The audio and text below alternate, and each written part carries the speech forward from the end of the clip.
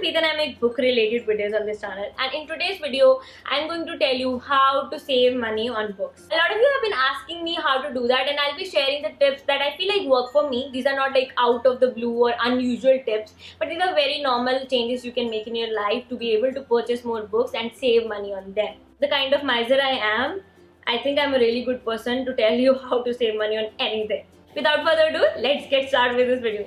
Tip number one, wait for sales or discounts. I have a huge wish list and I want to read so many books and the fact that I do not purchase those books right away. Sometimes I do have the money. I'm lucky enough to have those kind of moments when I get my paycheck.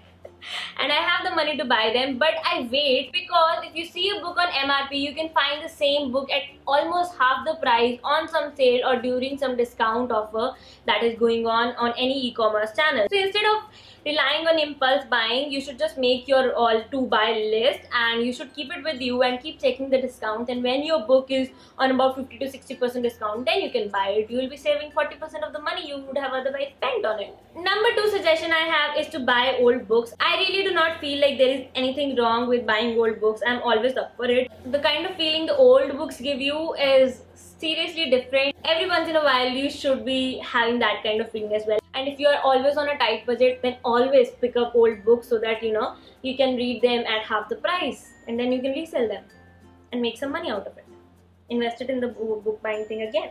Number three thing is libraries to be honest when i started reading books i have read it many times that nobody supported me to you know keep reading novels. Even though i am the only child of my parents and they get me everything they didn't really support the idea of me reading books. So they would not get me books that often.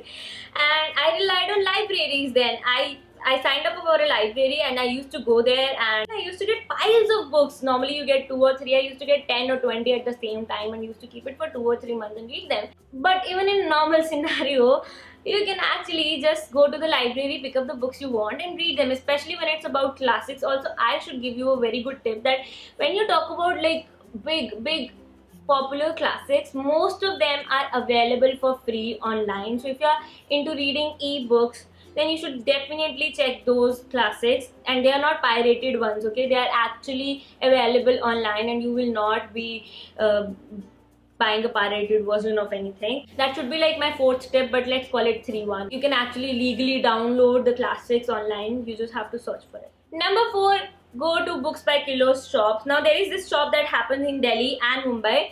Now Books by Shops are where you get to buy books by kilo. They are mostly used books and sometimes they are in really really good condition.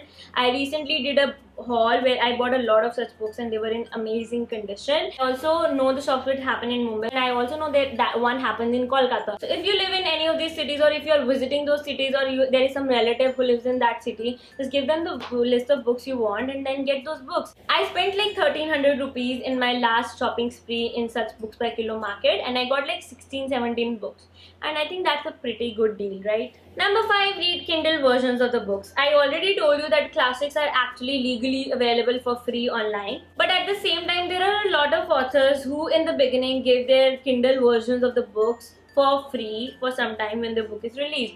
So you should always keep checking new releases as well and try to download them. If you're thinking I do not have a Kindle, you can download Kindle app in your Android or iDevice and actually read them. If you're okay with ebooks, this is a great idea. You can get so many books for free and it's awesome. Number six idea that I have for you guys is share your books with friends. Now, let's take a scenario. You have just 100 bucks to buy a book. And there is also this friend who has 100 bucks to buy a book. And you want one book and you do not have enough money. You can collectively buy one book and then read. It's a great way which I have implied in my college time. A lot of my books, Game of Thrones series, the Da Vinci Code, Shiva Trilogy, and a couple of romance books. All of them are like when I bought these books by money contributed by me and my friend. He eventually let me keep all of these books because I have an obsession to collect the books and he doesn't. But that is a really great way to actually keep reading books and it's a really good reason why you should you should suggest my channel to your friends because then they'll also get into reading and then you can follow this point and read a lot more books buy a lot more books and you know read them. You'll notice the theme over here which is more uh, apparent. That is money less spent is money saved. That is how it always is. So if you are going to save money by implying all of these techniques you can really you know save money on books. One more bonus tip for you guys.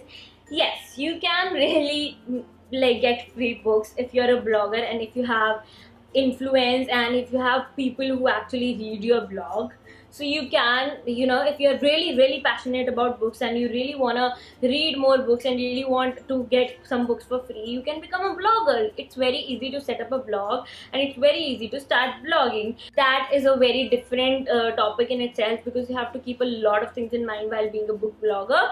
But at the same time it's a good idea. You can search about it. You'll find plenty of resources. And if you ask me i'll make some videos as well to help you out so i can do that for you guys as well. So you can actually do that and it's a really good idea. But but but i have to be very clear. Never ever start a blog or any venture keeping the freebies in mind. Because if you do that you won't be able to stick or nobody will actually follow you. So you'll be just living in a facade for a year or two and then you'll quit. So don't do that. If you genuinely want to share what you read, if you genuinely want to share your views about books, and you genuinely want to have a community around you which is like very passionate about books, then you should, you know, follow this tip as well. Yes, guys, those are my six slash eight tips on how to save money on books. I hope these were helpful to you and I really want to know from you if you think these will be helpful to you. You should really try these out and log down every penny you save and then you will see that how much money you'll be able to save just with these simple tips write it down. You will know okay? And obviously don't forget to follow them and then start writing down. Thank you so much for watching this video. If you did like it do hit thumbs up and share it with your friends so that even they can know about how to save money on books or even they can start reading books and you guys can follow that one point i told you where you need friends who read books. So do share my video on any social media you use or even whatsapp or even sms if you want to do that for me. Thank you so much for watching this video. This is Manpreet signing off. I'll be back with another video very soon.